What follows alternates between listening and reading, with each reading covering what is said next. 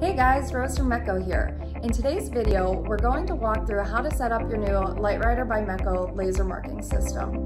If you're not familiar with what the LightWriter is, it's our newest benchtop laser marking system and it's a 20 watt fiber built into a class 1 enclosure. In just a few simple steps, you'll have this up and running and you'll be ready to go. Let me show you.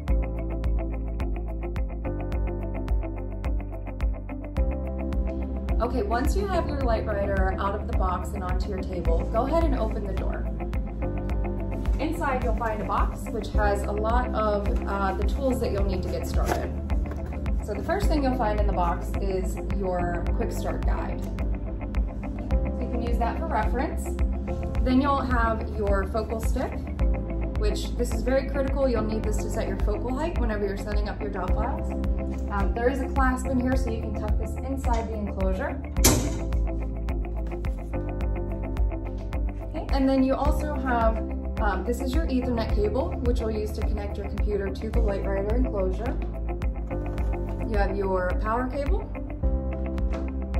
You have your Mecco support magnet, which right here on the front, great spot for it. Uh, this is a jumper. This will be utilized for troubleshooting. Um, so we don't need this right now, but make sure you don't lose this. Put it somewhere uh, where you'll be able to access it. Okay. Then you have your keys. You have your hard lock key, which you'll need this to run your laser. And you have your Mecco flash drive, which has some installation files uh, and maybe even some job files that you'll need for your system. Okay, let's go ahead and start setting this up. So first we'll take our power cable. Uh, we'll also grab the ethernet cable. We'll go ahead to the back of the system. So in the back of the enclosure on the bottom right hand side, this is where you're going to plug in your cables. Take the female end of your power cable, plug it in right here. The other end will plug into your outlet, and then you can take your ethernet cable and plug it in right here. Take the other end of your ethernet cable and plug it into your PC. Once your system's plugged in, turn your power to the on position. Okay, now that we have power to the system, we're gonna take our keys and we'll plug them in right here. So once you have your key plugged in, turn it to the right and that'll start the system up. You also have an LCD display here which will tell you the status of the system.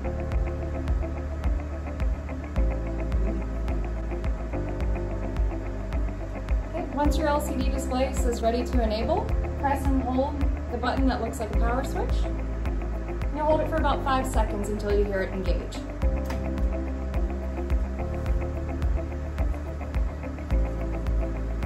Now the system's enabling.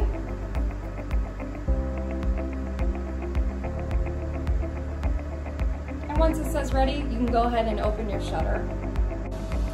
Inside the enclosure, you have an internal work light, so you can flip the switch to turn that on.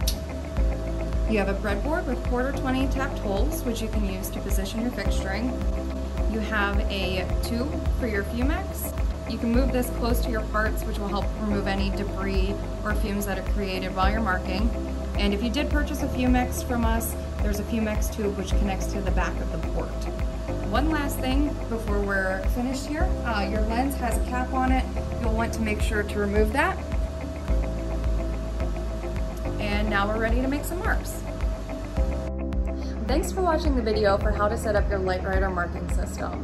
For the next video, which will tell you how to get started creating job files and making marks, check out the link below. And don't forget to like and subscribe to Mecco's YouTube page.